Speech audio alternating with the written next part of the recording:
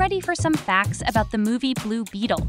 Characters Uncle Rudy and Jenny Kord are original additions as they don't appear in the comic books, while Victoria Kord is a reinterpretation of Jarvis Kord from the comics. Blue Beetle was one of the films originally announced as an HBO Max exclusive similar to the now cancelled Batgirl movie, but just before that cancellation, it was announced that Blue Beetle would be released in theaters and continue as planned.